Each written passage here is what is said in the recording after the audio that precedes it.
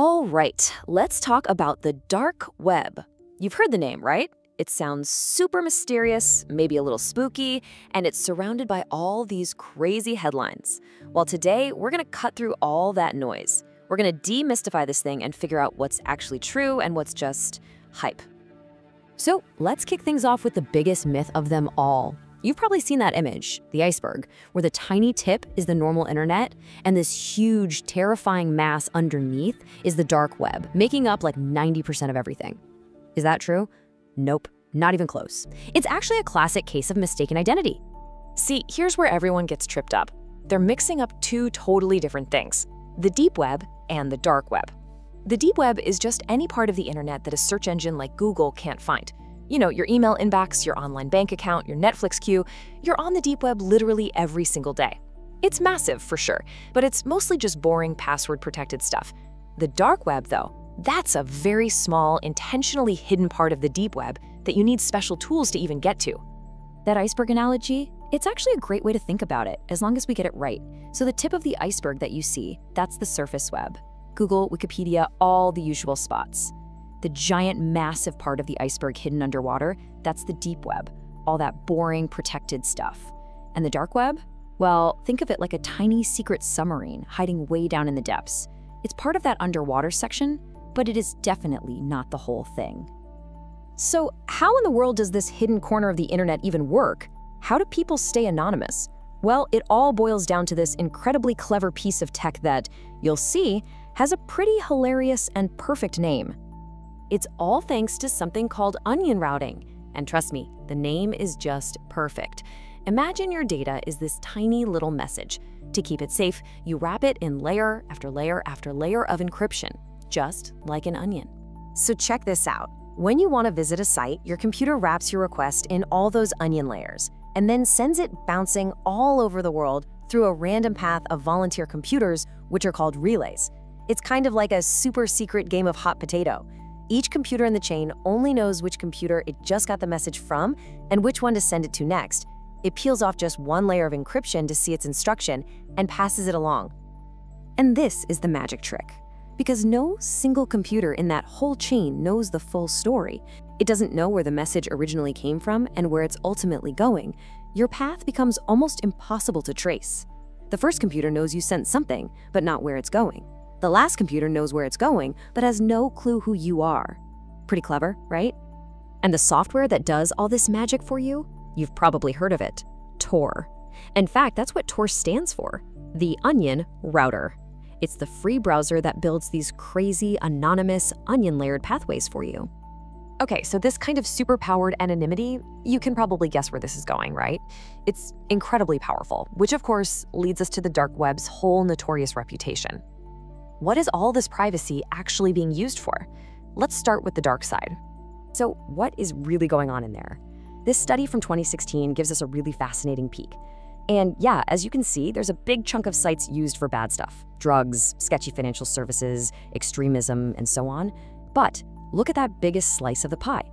Over 40% of the sites were categorized as non illicit or just unknown. So while the criminal element is absolutely real, it is clearly not the whole story.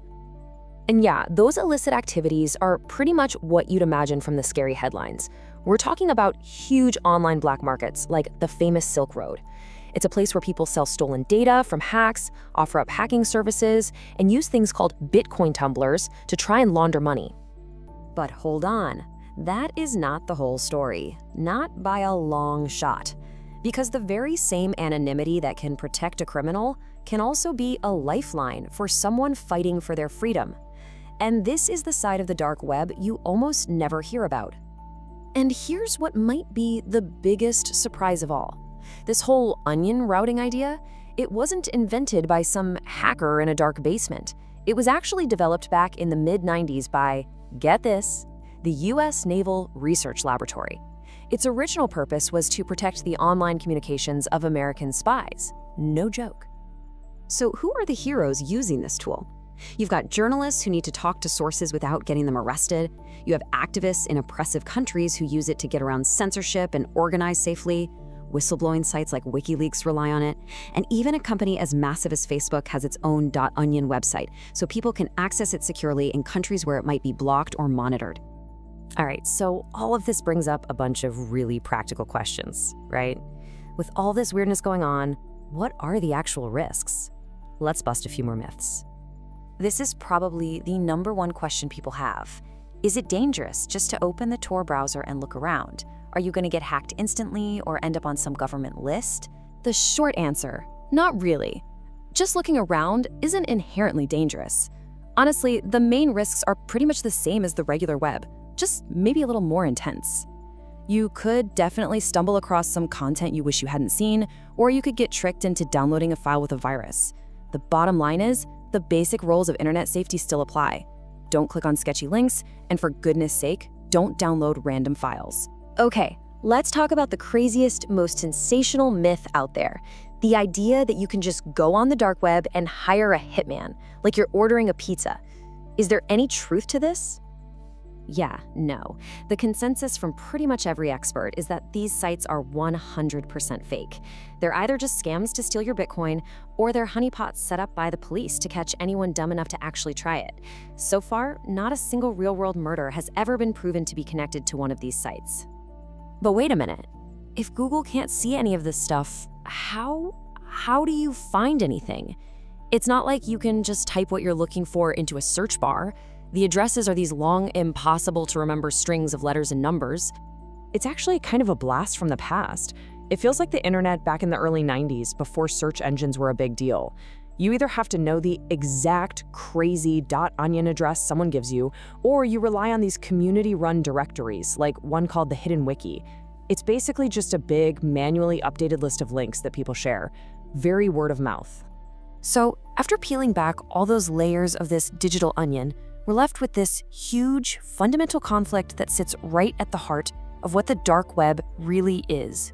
And this quote just perfectly sums up the two sides of the coin. On one hand, you have law enforcement, who see it, understandably, as a frustrating safe haven for criminals.